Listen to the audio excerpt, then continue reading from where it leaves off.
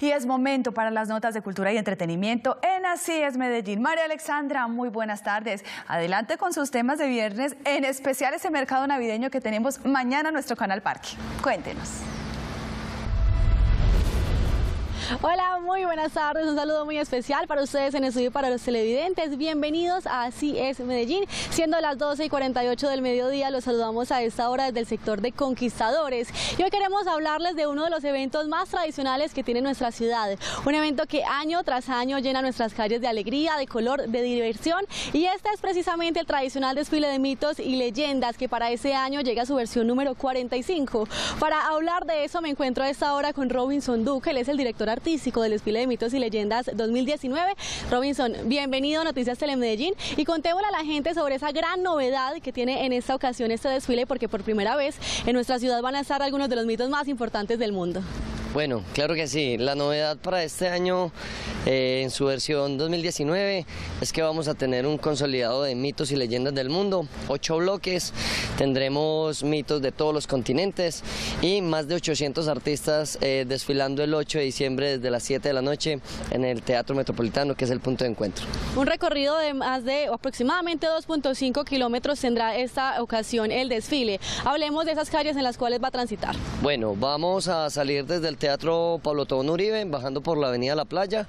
Estaremos haciendo un giro a mano izquierda hacia, en la Avenida Oriental. Nos vamos a ir hasta la Avenida San Juan, bajaremos por todo San Juan hasta la glorieta de ferrocarril e ingresaremos al Parque de los Pies Descalzos para terminar el desfile en un gran mosaico fotográfico que vamos a hacer en el edificio inteligente de EPM.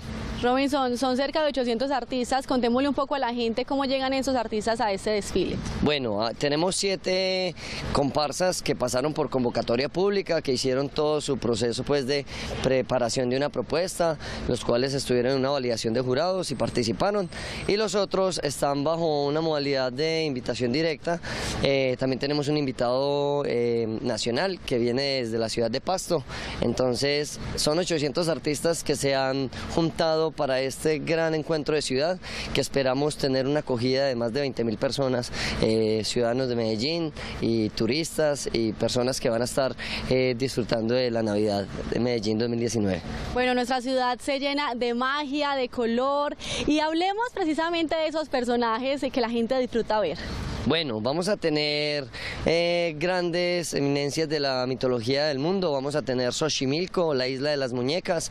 Vamos a tener eh, la serpiente emplumada, que es un mito y una leyenda de México.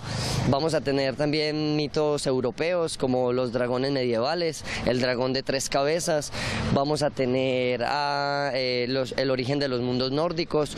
Tendremos a la Madre Tierra en compañía de la Fundación Tenarco. Tendremos a Teatro Sepia, vamos a tener a la Corporación Guateque y así numerables corporaciones que nos van a acompañar en este estupendo desfile, que, del cual esperamos tener un gran impacto visual eh, en este maravilloso recorrido. Claro que sí, Robinson, así será. Muchísimas gracias por acompañarnos aquí en Noticias Telemedellín. Cambiamos de